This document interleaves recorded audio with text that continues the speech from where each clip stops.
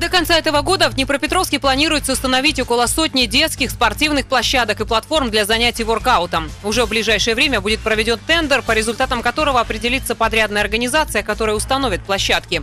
Кроме того, в городе продолжают ремонтировать ранее установленные спортивные снаряды. Сегодня уже приведено в порядок более 30 площадок. Во избежание травматизма сделаны тренажеры и качели для детей, проведен их косметический ремонт и убран мусор на площадках.